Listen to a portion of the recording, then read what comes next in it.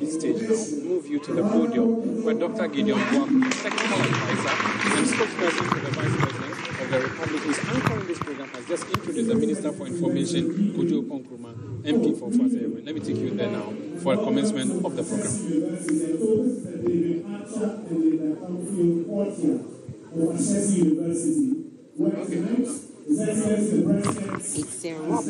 It's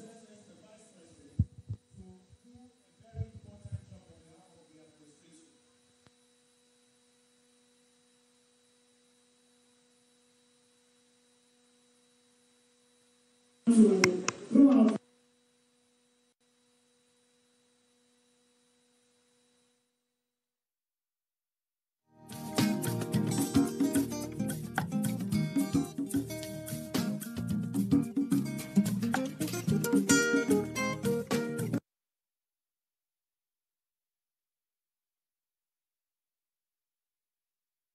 hear it. A big round of applause, ladies and gentlemen, as we welcome up on stage here at the David Archer and Linda Cornfield Courtyard, the president of Ashesi University and His Excellency, the Vice President of the Republic of Ghana, Mr. Patrick Awuah and Dr.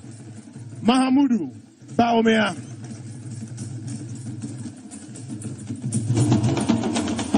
Thank you, guys.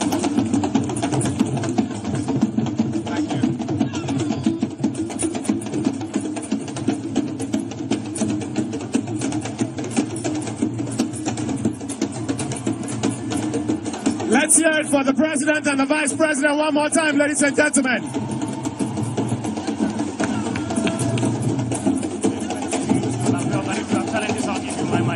Okay, all right. So I'm going to hand over to you shortly. Okay. Thank you very much. Ladies and gentlemen, we'll yield the podium to our host, the president of Ashesi University. Patrick, we're in your hands. Thank you.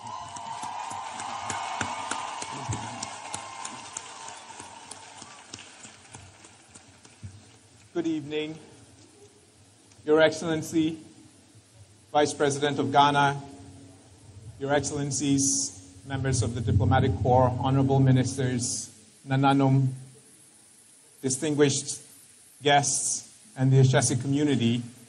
I want to wish you a very warm welcome to our campus. We're really thrilled to have His Excellency here with us this evening to talk about digital transformation uh, in Ghana. I thought I'd spend just a few minutes to uh, introduce the Vice President, and what we want to do this evening is to just have a conversation about the future of our country, especially around digitization. Um, so it's going to be a lot of just a fireside chat but we've asked the Vice President to first share his vision for uh, digital transformation in our country. Um, and then we will sit together. I'll ask him a few questions and then open up to questions from, from the audience. And we will prioritize students for the, for the Q&A. So uh, in introducing the Vice President, we all know who he is, and um, you, can, you can search the web and find his, his biography. Um, so I'm not going to go through the details of that, but just share a few key points um, uh, from the Vice President's biography. He was born in Tamale and was educated through secondary school here, and then traveled to the United Kingdom and Canada for his education. Got uh, bachelor's, master's, and PhD in, in economics.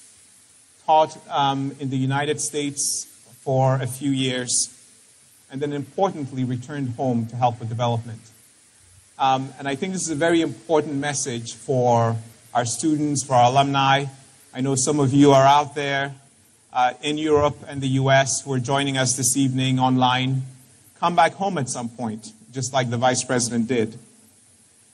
And when he returned, he went to work at the Bank of Ghana, started as a, as a senior economist, um, and then within six years was a deputy governor of the Bank of Ghana, which is an astonishing accomplishment for such a, a short period. He was named uh, the running mate uh, to Nana, Danko, Nana Dankwa Akufo-Addo, uh, current president of Ghana. Um, the vice president was his running mate in 2008, he was only 45 years old, relatively young. Um, and it speaks to, you know, when you really execute a certain way and you're recognized for the contributions you're making to your society, the things that can happen.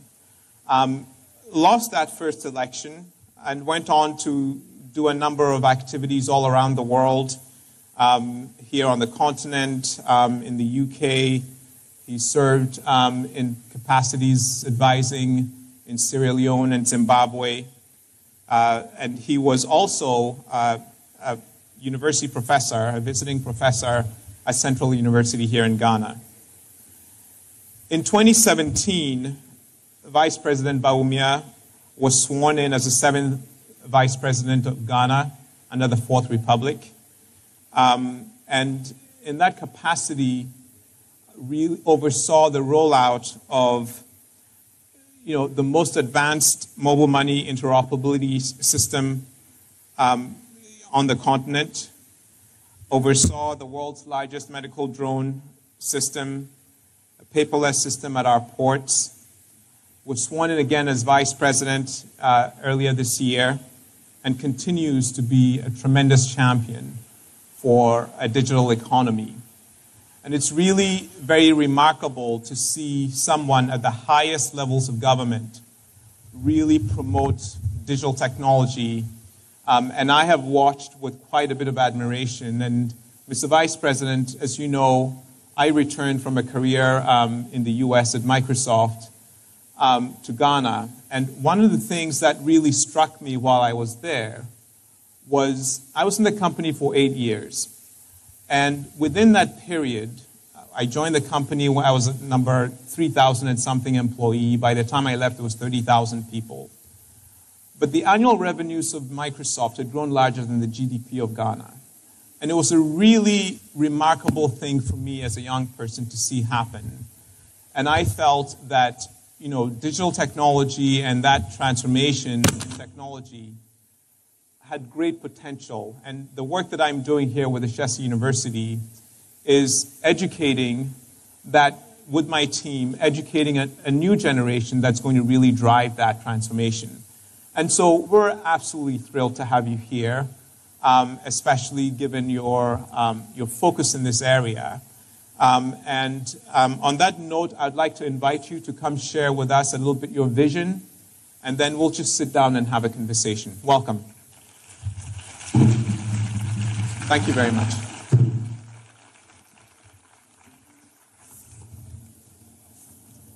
Thank you very much, Patrick, for those kind words. The founder and president of Ashesi University, Patrick Awuah, ministers of state, members of parliament, I've all seen my own chief of staff, Frema, I could say Frema Opare, senior minister or senior presidential advisor, governor of the Bank of Ghana, deputy governor, members of the diplomatic corps, deans and faculty and staff of Ashesi University, distinguished invited guests, listeners and viewers from across the country and abroad, students, ladies and gentlemen. Thank you very, very much for the opportunity to speak at Ashesi University this evening. This is one of the leading and most sought after universities in Africa. This is a world class university. Congratulations to the founder.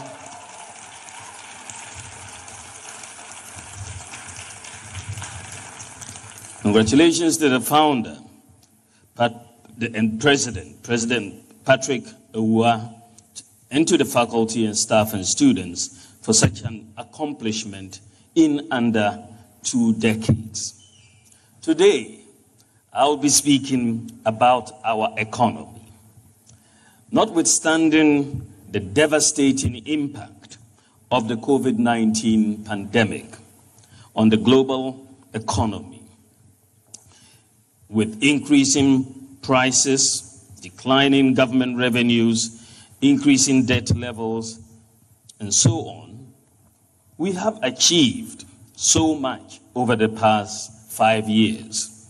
This includes creating more jobs in our first term than any other first term government since 1992, reducing inflation from 15% to near single digits, achieving the lowest exchange rate depreciation for any first term government since 1992. We've recorded positive trade balances in four successive years. This is the best in more than a decade. We have the lowest average bank lending rate since 1992, thanks to the Bank of Ghana. We're safeguarding food security and the fight against hunger through planting for food and jobs. We're stimulating industrialization from the ground up through one district, one factory. In fact, we have more factories have been set up under our government than under any other government since independence. In addition to these indicators of the macroeconomy, we have established development authorities. We have one constituency, one ambulance, the Zongo Development Fund, and we've managed the COVID 19 pandemic by world class standards. We've also introduced free TVET and free SHS, and much more. There is a lot to say about these, but tonight I want to focus my remarks on how we are transforming Ghana's economy through digitalization, because it is important that we highlight the critical nature of digitalizing the economy and how it underpins the reforms that the citizenry expects of government. We can only build a vibrant modern nation if we have strong systems and institutions. Otherwise, we will be stuck in a vicious cycle of rhetoric and underdevelopment.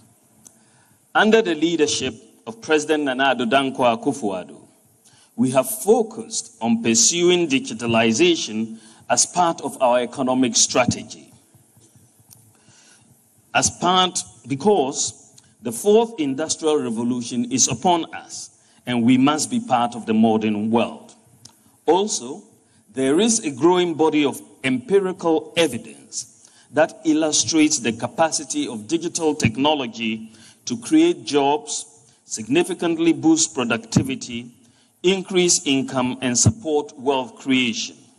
For example, the World Economic Forum's Global Information Report estimates that an increase of 10% in a country's digitalization score fuels 0.75% growth in GDP per capita.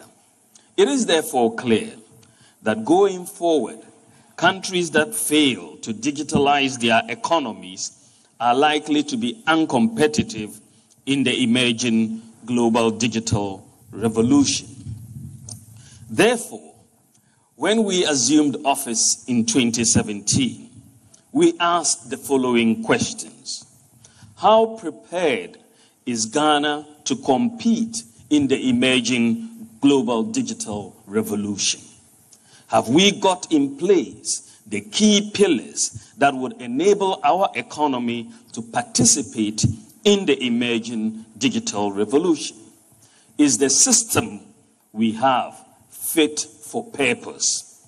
Ladies and gentlemen, the first thing to note in talking about the digital revolution is that it is a data revolution. The Economist magazine in 2017 put it this way, and I quote The world's most valuable resource is no longer oil, but data. End quote. Data is as important in this fourth industrial revolution as oil discoveries were for countries decades ago. Data is the basic requirement for participation in the emerging digital revolution. But it was clear when we assumed office that the system underpinning the operation of Ghana's economy was not designed for a data driven economy. The system had major shortcomings and presented challenges for digitalization of the economy. The key enablers for digitalization were not in place. And these challenges included the citizens and residents could not be uniquely identified. It is possible to be born in Ghana, to live a full life, to die and be buried, and there would be no trace of you on any documentation that you ever lived and died in this country. There is also, as we looked at it, the inefficiency and corruption in the delivery of public services. In the day to day interactions of Ghanaians, whether in applying for driver's license, passports, and any other form of government permit or license at the local or national level, corruption has been so ingrained that bribe taking and giving are often tolerated to the point of being considered as normal behavior. We also had a lack of a functional national property address system. And you know that no modern economy can function without an address system. There was the existence of the large informal sector and the dominance of cash in payments. We also had financial exclusion and so many people not being able to have access to financial accounts and services. Our government databases are largely manual and not integrated. And there was the difficulty in this large informal economy of ours of collecting taxes for development. The vast majority of the population do not file to pay taxes. And when they do not file to pay taxes, there's no way of finding out because you don't have the data. We also had a lot of inefficiency in the delivery of health and education services. All the challenges I have just described so far are symptomatic of a disconnect between the government machinery on the one hand and the lives of ordinary people on the other. The system frustrates rather than helps ordinary people. That is how the system worked. The question to ask, ladies and gentlemen, is why is it that after over 60 years of independence in Ghana, after all the years of IMF and World Bank programs, all the foreign aid, all the development assistance, the system remained basically the same, or in some cases, got worse. In 2010, that's 11 years ago, and some seven years before we came into government, I addressed this question in the conclusions of a book that I published on monetary policy and financial sector reform in Africa. I noted in this book that international development is a competitive game. But unlike the football game of football, where the rules are clearly defined for all participants, not all the rules of international development are written down. Putting in place a unique identification number for the population, a unique address system, and financial inclusion are just some of the key unwritten rules for efficient economic development. The focus, ladies and gentlemen, of economic management by successive governments in Ghana has been on crisis management. As a result of factors such as the collapse historically of commodity prices, increase in oil prices, debt unsustainability, political instability, macroeconomic instability, and so on. We have focused on crisis management. Governments, by and large, have not focused on the underlying system that underpins economic activities. I therefore concluded in the book that digitalization was the path to modernizing and transforming Ghanaian, the Ghanaian economy and African economies in general. The goal, upon assumption of office, was to quickly transform our economy by leveraging on the technological innovations as a means to leapfrog the development process, overcome the legacy problems, and improve both economic and public sector governance.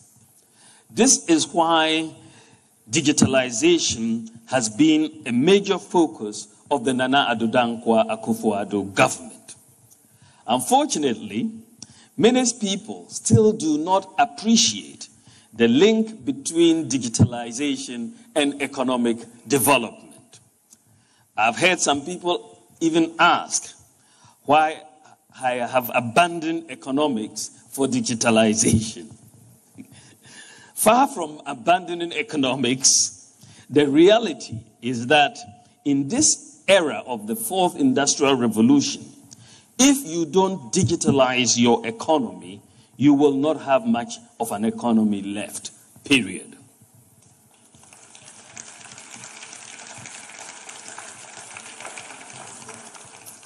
A few days ago, the World Bank president, David Malpass, at the recently concluded G20 summit stated, and I quote, without digitalization, we won't be able to reap the full benefits of human progress.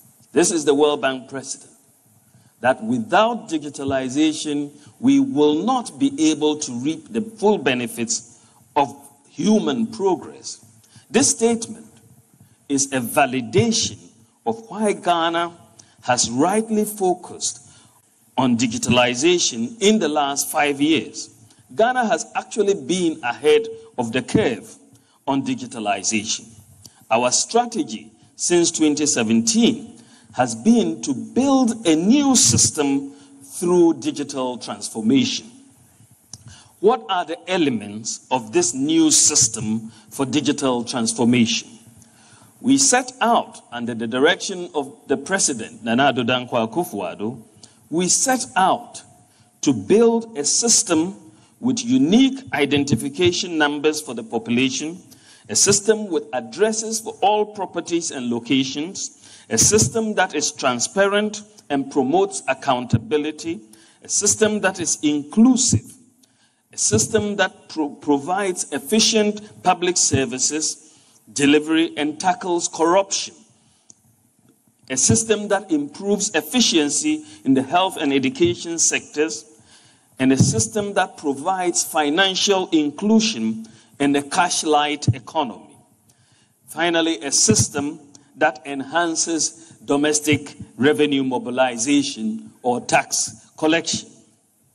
I will now come to how we have used digitalization to solve these problems because the task we set ourselves to build this new system was a quite heavy task.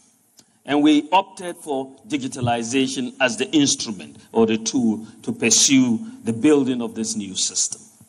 So, how is digitalization addressing the issue of a unique identity for the population?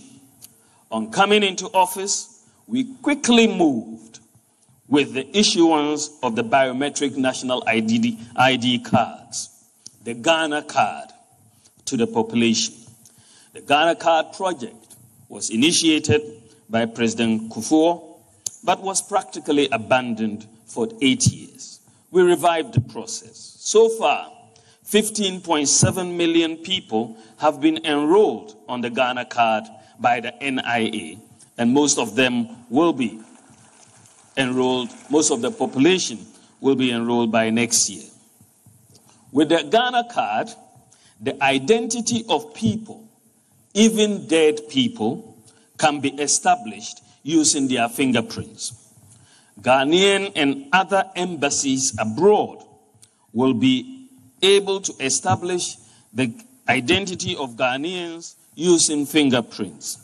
Identity can be established even without the Ghana card. As long as you are enrolled on the da- database and you, you, you put your fingers on the application, you can be uh, verified. It is not widely known, ladies and gentlemen, that the Ghana card is also an e passport that contains biometric information that can be used to authenticate the identity of travelers.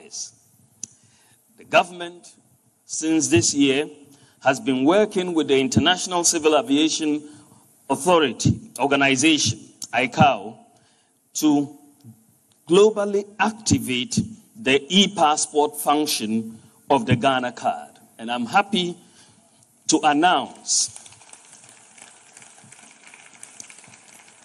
I am happy to announce that on 13th October this year, the Ghana officially became the 79th in, member of the International Civil Aviation Organization Public Key Directory com- Community.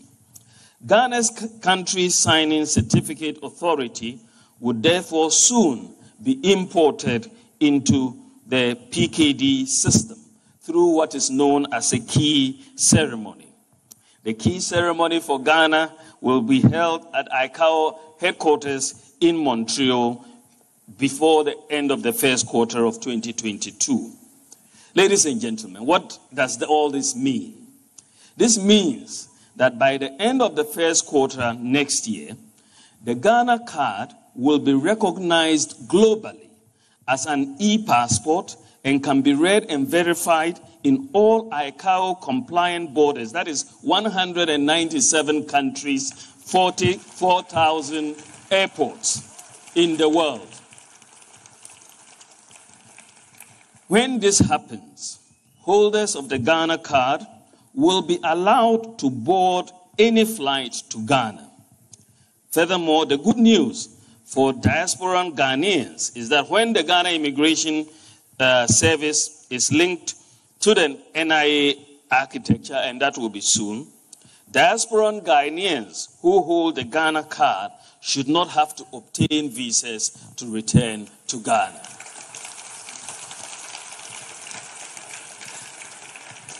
And the Ghana card project, we're quite proud to say, was implemented by the, by the NIA and a local Ghanaian company. It's a world class company.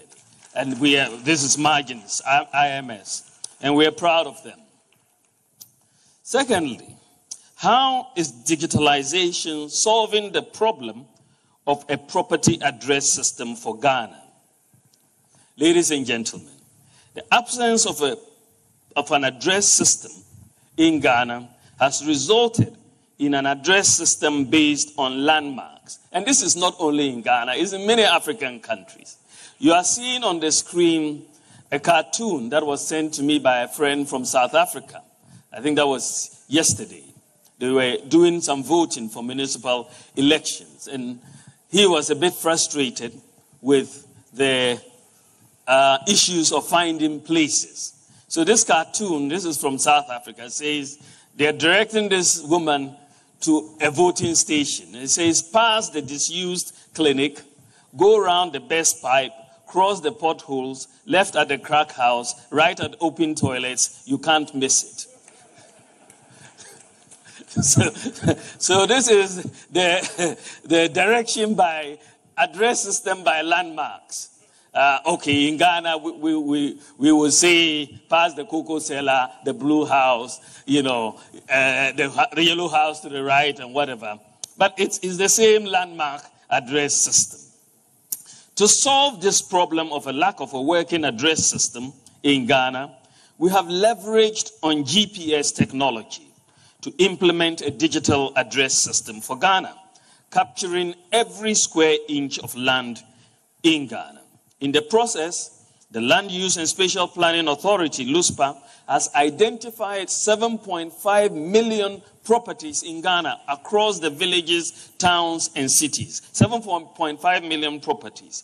And we have provided all these with street names house numbers, and digital addresses. And right now we are in the process, LUSPA is in the process, process of affixing the uh, address plates to all these properties. It's ongoing. It's, it's a major uh, achievement for Ghana. We engaged with Google last year. With, we engaged Google last year with a request to integrate our digital address system into Google Maps. I know all of you students, when you go to look for a location, you immediately go on WhatsApp and, and, and, and get to Google Maps and forward it and so on. We said to Google that we wanted to integrate our digital address system into Google Maps. They did their due diligence, and this year they agreed for us to do so. So we will do so by the end of the year. So when you enter, once it is done and you enter and put the address of any uh, uh, property or the digital address, Google Maps will take you there. The digital address system, again, was executed by LUSPA, the Ghana Post, and in collaboration with a local Ghanaian IT firm. How is digitalization addressing financial inclusion and the dominance of cash payments? One of the biggest problems that was impeding financial sector development in Ghana is the issue of financial exclusion. This means that most of the population is excluded from fully participating in the financial system because they are unable to open and operate bank and financial services accounts. And this reinforces the dominance of cash payments. When we assumed office in 2017, we decided to use digitalization to solve this problem.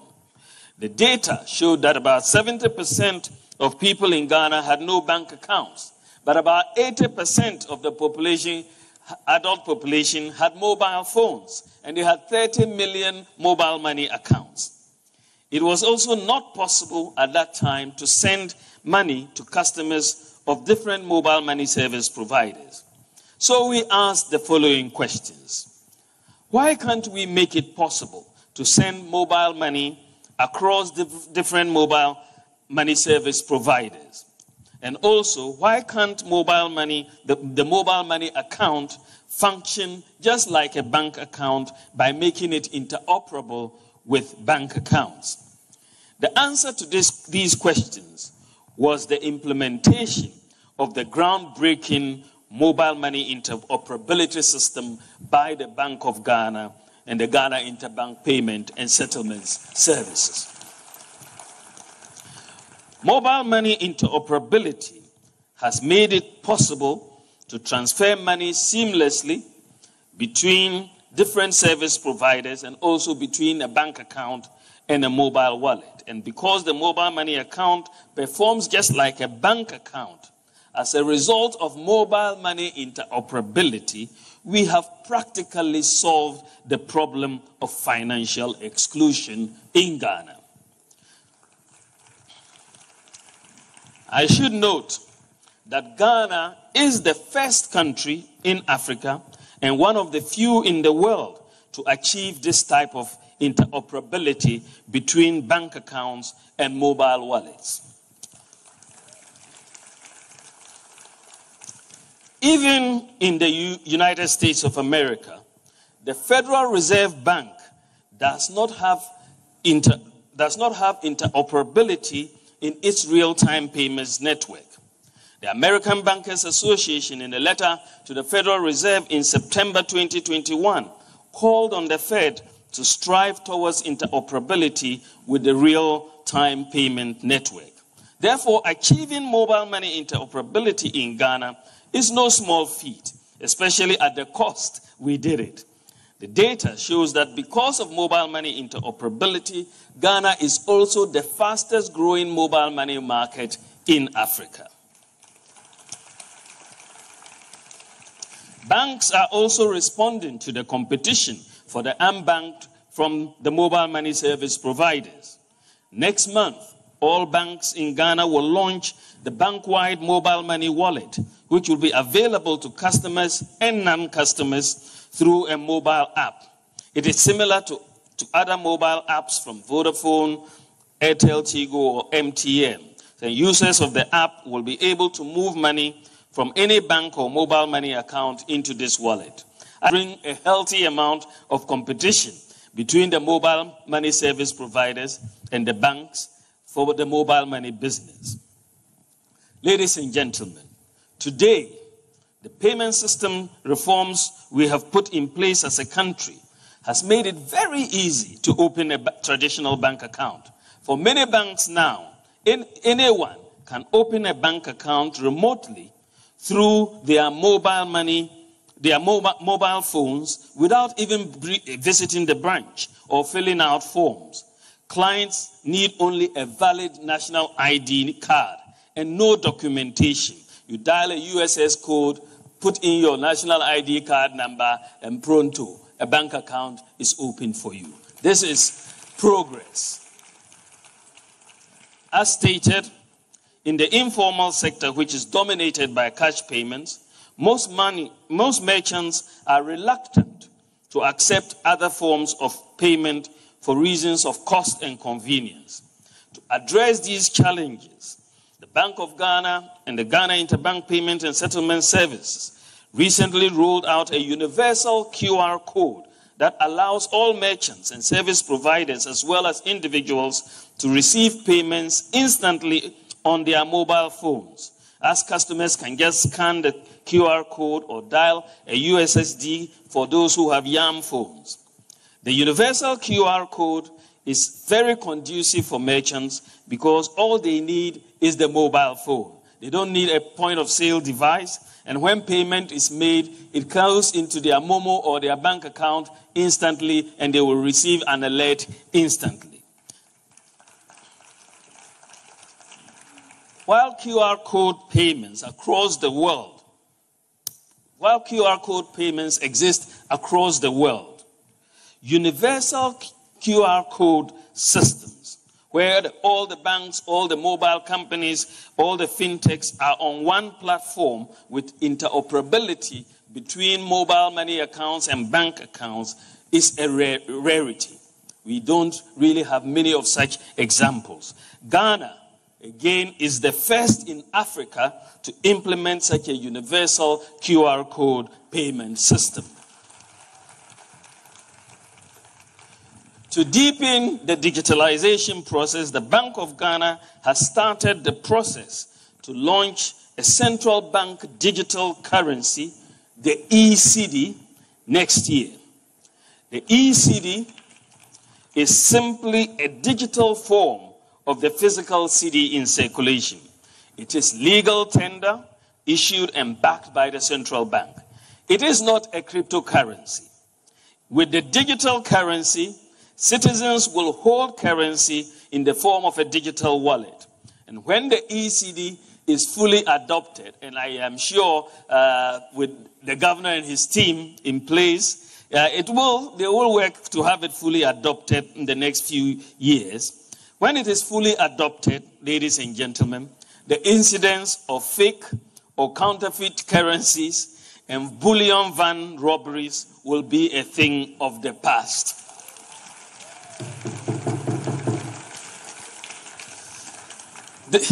Just imagine this country in a, just a few years.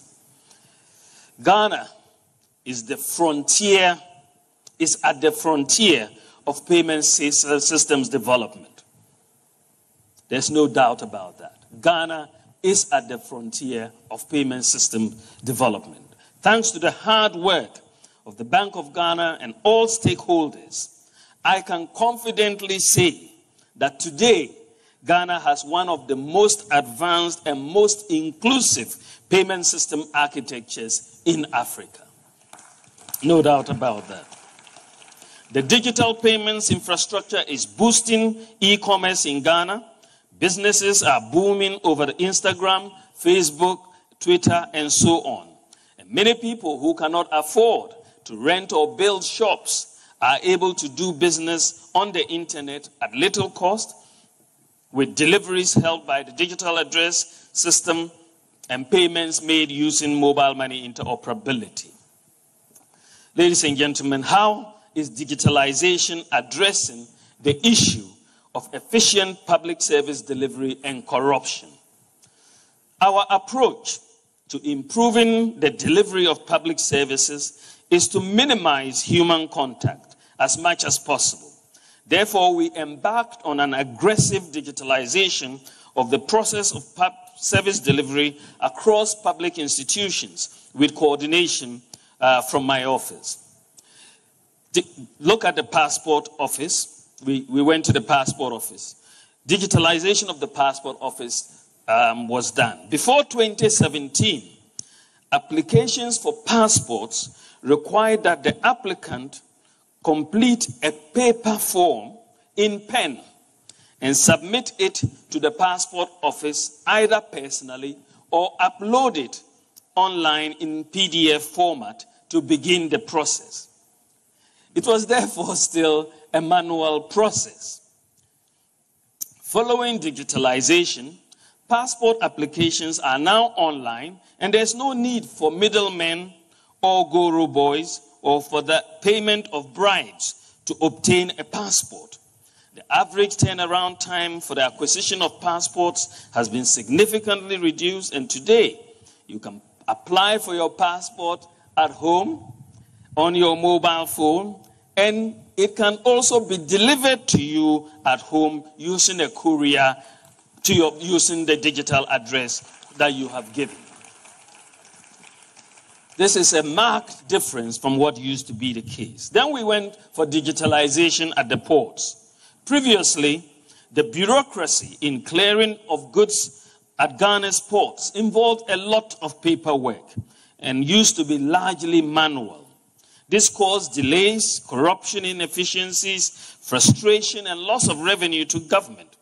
Many citizens who had cleared goods at the country's ports had horror stories about their experiences at the port.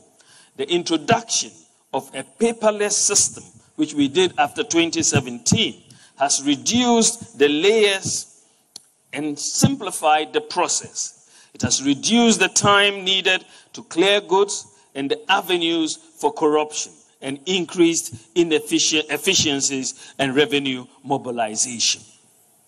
We went then to digitalize the Drivers and Vehicle Licensing Authority. The DVLA offers two traditional services driver licensing and vehicle regist- registration. These services have been fully digitized. With digitalization of the driver's license in 2019, the DVLA experienced an increase in service by 109%. So you see that a lot of people were applying online and getting their licenses. With digitalization, there are no middlemen or goro boys, or there, there's no need for bribes to be paid to obtain a driver's license or register a vehicle. Due to the digitalization, a client no longer waits for several months to receive his or her license, but now they can get their license in one day once all the requirements are met. Ladies and gentlemen, we then moved on to the motor insurance database. The National Insurance Commission has also implemented the motor insurance database. The objective of the introduction of the motor insurance database is to curb the menace of vehicles with fake motor insurance stickers plying our roads, thus endangering the lives and property. With digitalization of motor insurance in Ghana, all insurance policies which now have key security features have been synchronized to a national database, which can be accessed simply with a mobile phone by the insured, the police, and the general public. Members of the public can also self check the authenticity of their insurance policy. All you have to do is dial star 920 star 57 hash and follow the instructions. And thereafter, you will know the insurance status of the vehicle. So if you're about to board a vehicle and you want to check, you dial star 920 star 57 hash and put in the vehicle, uh, uh, uh, the license plate, and it will tell you whether this vehicle has insurance or not so that you can make your decision. Then we moved on again, the motor insurance database. I believe, I don't know of any other African country that has put together this motor insurance database. Ghana is the first to do so. Then we move on to digitalize the births and deaths registry. Easily one of the most depressing visits I have paid to a government office during my time as vice president was to the births and deaths registry headquarters. There are hardworking people there, but there clearly was insufficient investment in the institution. It was messy, it was chaotic, and it was sad. It turned out, after we, we engaged the birth and deaths registry, that they had three separate databases for births and deaths registers. And none of these three separate databases were talking to each other. They were sitting in silos. It is therefore not surprising that corruption and fake birth certificates thrived in this environment. Thankfully, the process of digitalization of records at the births and deaths registry is almost complete, and the three databases have been merged into one database and cleaned up. Furthermore, we are integrating the births and deaths register with the databases of the Ghana Health Service, the National Identification Authority, the Ghana Statistical Service, immigration, and the police, so that the record of births and deaths should be consistent across all these organizations. Starting next year, ladies and gentlemen, every newborn child will within, because we are linking the births and deaths with the NIA and the Ghana Health Service, every newborn child will within a month be issued with a national ID number.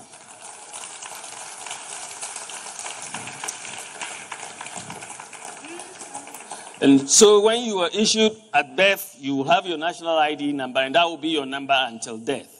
But you can only be issued a, biomet- a card when your biometrics are fully formed. That is after you are six years old and, and going. Then you will get a card. But for now, you will have a paper card to give you your national ID number, which you will use all the way um, in life.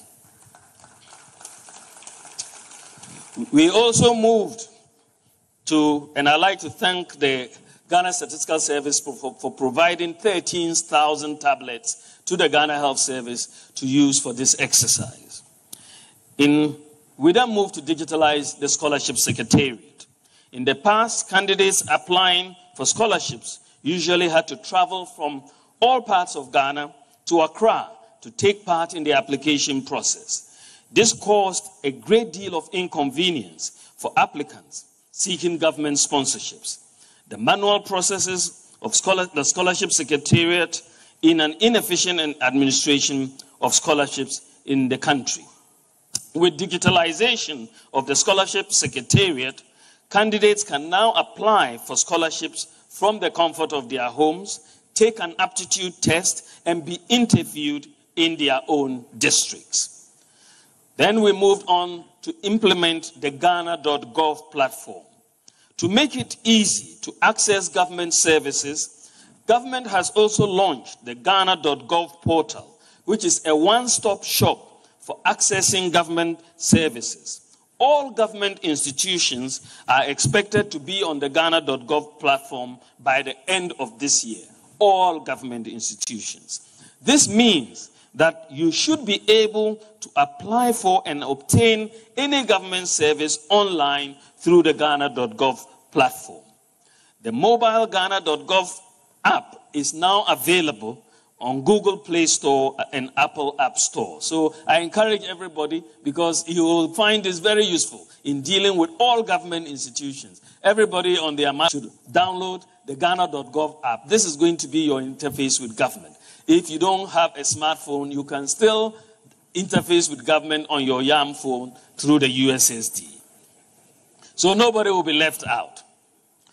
With the Ghana.gov platform, all payments to government on the platform will go directly into government accounts. It also provides a feature, a feedback feature, to enable users report problems with public services to the relevant authorities. Again, the Ghana.gov platform, when we decided to put it together, was implemented by the Ghana Revenue Authority, again in collaboration with a consortium of Ghanaian IT firms. Just fantastic group of firms that have put this platform together. It's a world-class platform. How is digitalization addressing the issue of domestic revenue mobilization? This has been a headache. Ghana has a major challenge in the area of domestic mo- revenue mobilization. The tax to GDP ratio is 14.3%. Compared, that is in Ghana, our tax to GDP ratio is 14.3%. In South Africa, is 27%. And in the OECD or the advanced economies, is 34%. So, so most adults in Ghana are outside the tax net, and compliance is very low. At the beginning of 2017, only 4% of the adult population had tax identification numbers. Only 4%. So broadening the tax net is very imperative. In this regard, a number of digital initiatives have been implemented to broaden the tax base and to increase and to create a vehicle for domestic revenue mobilization.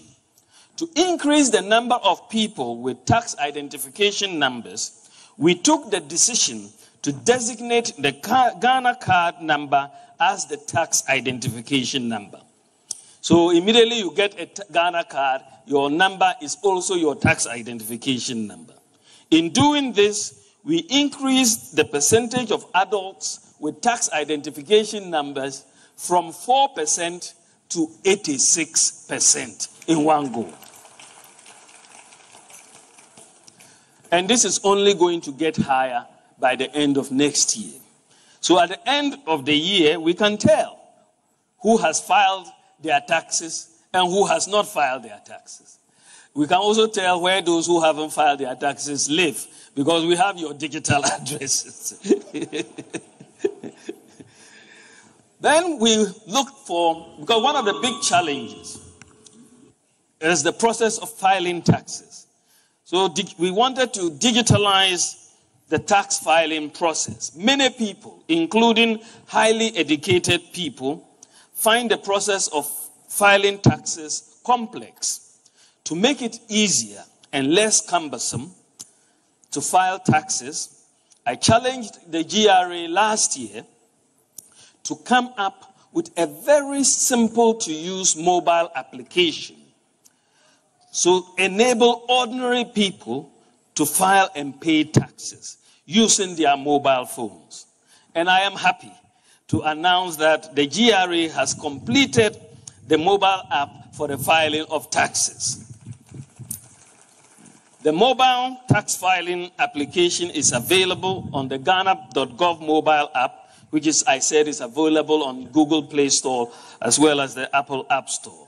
The tax filing mobile app has been designed specifically to make the filing of taxes simple. Once you sign in, you will be asked a number of simple questions. You even think you are filing taxes. You'll be asked just a number of simple questions and you will answer those questions. And once you finish answering the questions, you could press the send button and then it will go and come back with a calculation of the tax that you owe or the refund that is due you. Right on your mobile phone. And once you know what your tax liability is, you can proceed to pay using mobile money, the QR code, Ghana Link, or whatever other source uh, that you have available there. You will receive, after payment, an electronic receipt of your tax payment, and you can also apply for and obtain an electronic tax clearance certificate. So we are really digitizing the process of domestic revenue mobilization. Ladies and gentlemen, then we looked at the property tax issue and how we can digitalize the collection of property taxes. Most property owners in Ghana do not pay property taxes. Many do not even receive bills to pay taxes. Tax is paid on only 9% of properties in Ghana. And some people who also collect taxes pocket the money. This is because we lack the key elements to implement and monitor an effective property tax regime. An effective property tax regime requires that we are able to identify all properties, assess the value of all properties, identify and maintain a property owners database, send property tax bills to the owners, and enforce the payment of taxes. Thanks to the implementation of the national ID, the National Digital Property Address System, the Mobile Money Interoperability, and Ghana.gov projects, Ghana now has the infrastructure to implement a property tax system. We have been working on this over the last two years, and thanks to the hard work of the ministers for local government and rural development, as well as the ministers for land, the Minister for Lands and Natural Resources, with the minister, uh, with support from the Minister of Finance and the Lands Commission, we have finally developed a national common platform for property tax administration for Ghana, which will operate across all the MMDAs in Ghana. The platform is integrated, as I said, with the NIA database, the digital property address system, and the Ghana.gov platform. Homeowners will be able to receive their property tax bills, pay their taxes, and receive receipts on their mobile phone, their phones. The platform is ready and is expected to be implemented by the Ministry of Local Government in 2022. Digitalization, ladies and gentlemen, has therefore helped government for the first time to put in place a robust and broad based vehicle for domestic tax collection. And this has eluded us since independence. We now turn to the issue of improving healthcare delivery and how has digitalization helped us in this area.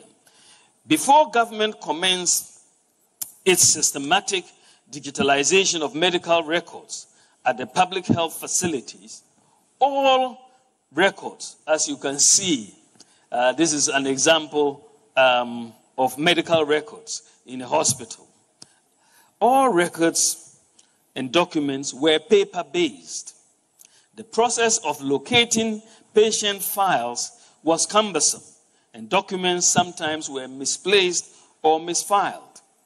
This caused delays and inefficiencies in the delivery of health services and the reluctance of some sick people to visit public health facilities. We have embarked on the connection of health facilities under the Ghana Health Service onto one digital platform. So far, all teaching hospitals and all regional hospitals have been connected and can talk to each other.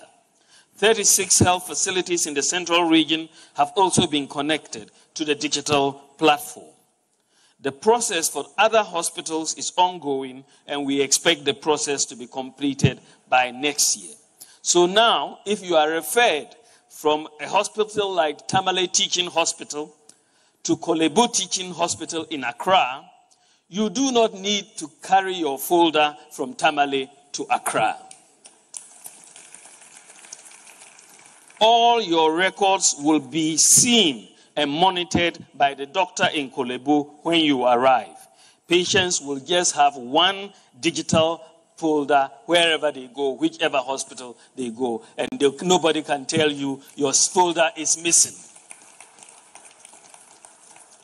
This effort has increased efficiency, effectiveness, and productivity in service delivery by our health facilities, eliminating the need for the queues and delays, and also increasing access to health care by those who need it most. Ladies and gentlemen, digitizing the operations of the National Health Insurance Authority has also helped reduce fraudulent claims. And the renewal of all national health insurance registrations used to take place at various National Health Insurance Authority district offices. People had to go and queue at the offices to renew their national health insurance registrations. And this took days for many people in the districts. They used to come and sleep outside these offices just to renew their national health insurance registrations. These delays hampered the operations and limited the revenue streams of the NHIA. But following digitization, renewal of health insurance registration now is via mobile phone. And all you need to do is dial star 929 hash and you'll get in there, pay your registration, and renewal is instantly done for you. This has led to an increase in renewals by 70%, while new registrations have also increased by 41% per annum. Ladies and gentlemen, hospitals and clinics in remote and largely rural communities have difficulty in getting medical supplies, especially in times of emergencies involving, for example, snake bites, childbirth, blood supplies, floods, and so on. Many lives in our rural and remote communities are needlessly lost because people are unable to access critically needed medical supplies on time. To address this problem, Ghana opted to partner Zipline, the world's largest automated on demand delivery service for medical supplies. Ghana was the second country in Africa after Rwanda to implement the delivery of medical supplies through drones. There are four zipline distribution centers currently in Omenako, Mpanya, Vobsi, Sefiwioso. And these four centers deliver about, on average, they do 100 flights a day. This December, we will add two more centers at Enum in the eastern region to cover all of the Afram plains and 90% of the Volta region.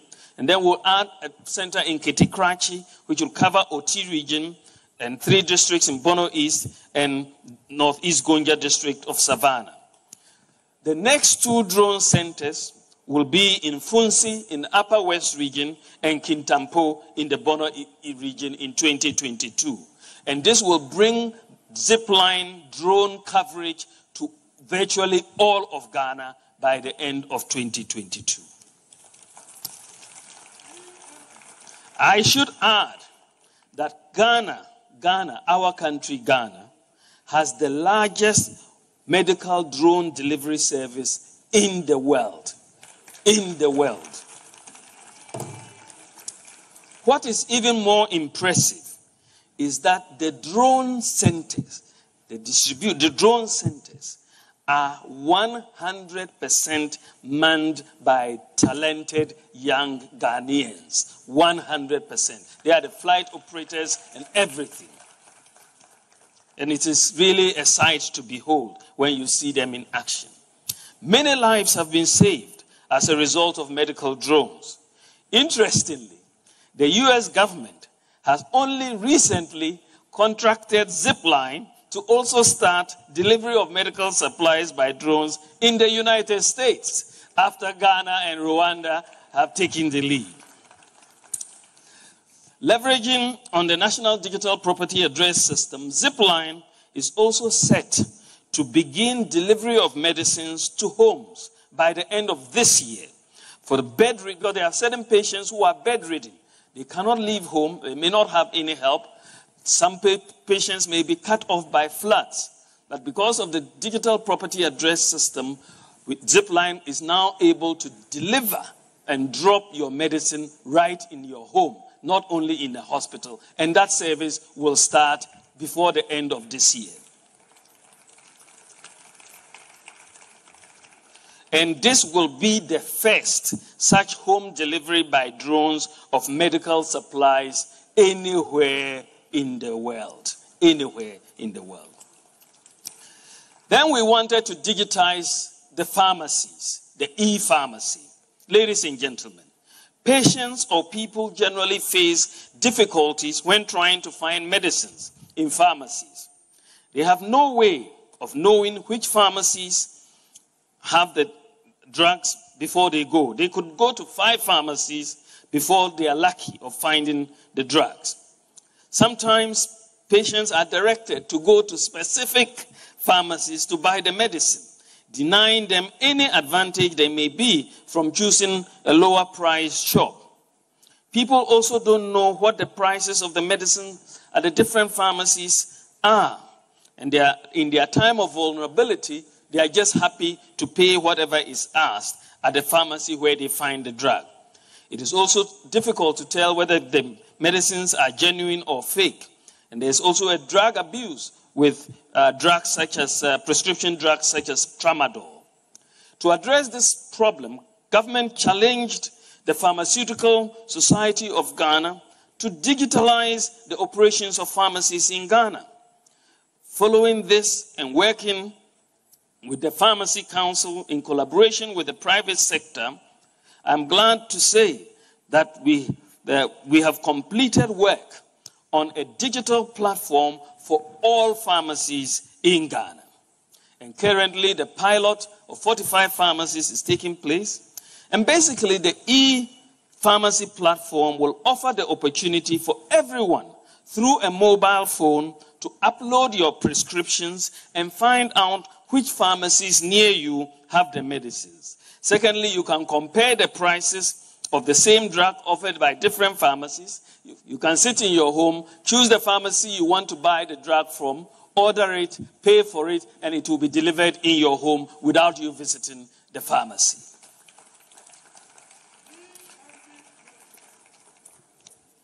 The e-pharmacy will eh, also help us address the problem of drug abuse. Those who are prescribed the medicines, controlled medicines like tramadol, for example, will no longer receive a paper prescription. They will be sent a one-time code via SMS. And once the prescription is uploaded, and it will be used only once at the pharmacies. Thankfully, the e-pharmacy will be launched before the end of this year, and this will make Ghana, I'm so proud of this, this will make Ghana the first country in sub-Saharan Africa to have a national scale e-pharmacy and only one of the few countries in the world with a national scale e-pharmacy. I would like to thank the Pharmacy Council, the Ghanaian private partners for being very proactive in meeting the deadlines we have set them. Now to the education sector. To make our education sector, to make sure our education sector